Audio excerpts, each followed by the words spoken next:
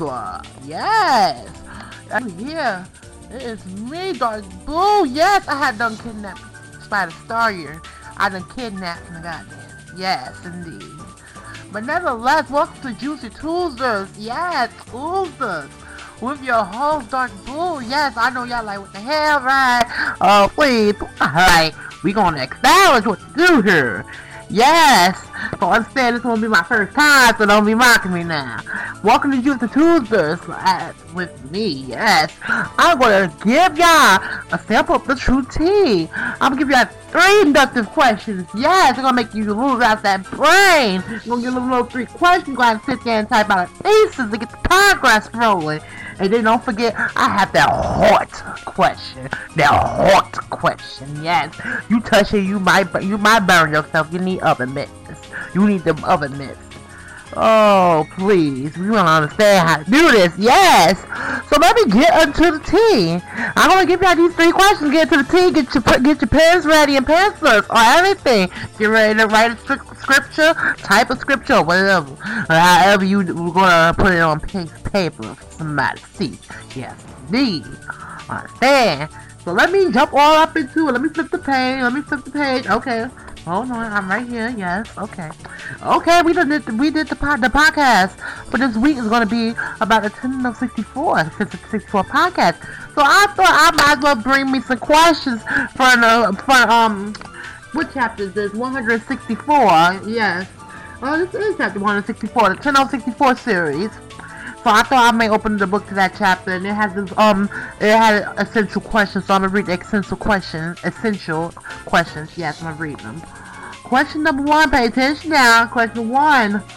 What is your favorite Nintendo 64 game? As in, just tell me what game that when you play, you like, yes, it gives you what you need. It serves you what you've been waiting for. You ask for a prime rib, it gives you a prime rib. It's serving you what what you want. So tell me, what is your favorite Nintendo 64 game?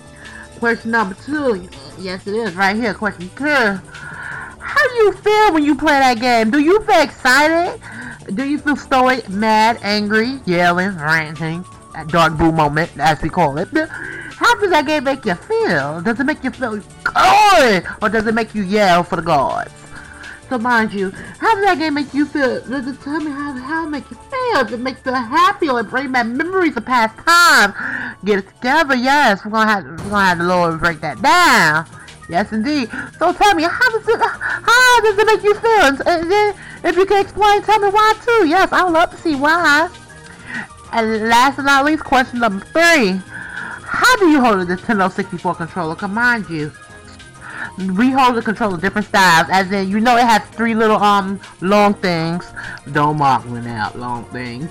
So see, let me tell you how I hold it. I hold it. My left hand is like where the control pad is. My right hand is where the feet where the C buttons are. So mind you, my left thumb be using the control stick. I don't hold it where I have my right left hand in the middle and the right hand on the right side. I don't hold it like that. But tell me, how do y'all hold it? For me, it depends on games. Like, if I'm playing Perfect Dark, I use the C buttons to move and Turok. So that's how I will use the controller with the middle with the middle rod being untouched. And also, and yes, tell me how how you do that because it, it, people have some weird hairstyles and stuff. Two two hips, two player, one control. Not let me move on because some people gonna be like, excuse me, two and one. Uh, don't try it. Now let me get to the hot question, the hot. Uh, get ready. It's the hot question. Where my oven mitt? Where my oven mitt at? Yes. Yes, thank you, honey. Yes, yes, true tea. True tea, pour me a cup of true tea. Oh, yeah, there. Yes, pour me a cup of true tea. Mm-hmm. Let me get my oven mitt. Oh, this hot. Uh, let me flip these page. Oh, oh, you see that sizzling? Let me flip to the page. Oh yeah. Oh, that's a good question. This is a good question. We going we on clock T. Okay, the hard question. Pay attention now. I'll say this once and then explain. As you know, each generation of children they grew up with a game system, as you know. As in, like for some people in the 90s and stuff, it was the PlayStation, the Nintendo 64, Dreamcast, etc., etc. So, mind you, my question is this: it's a two-part question now. Do you think that the generation that grew up with a system, as in a base system, as in that system was popping during them years. Do you think that they prefer they will prefer that system over something uh, uh, over another system based on their feelings towards it instead of compatibility and graphics and all the little data or um, statistical analysis that we have.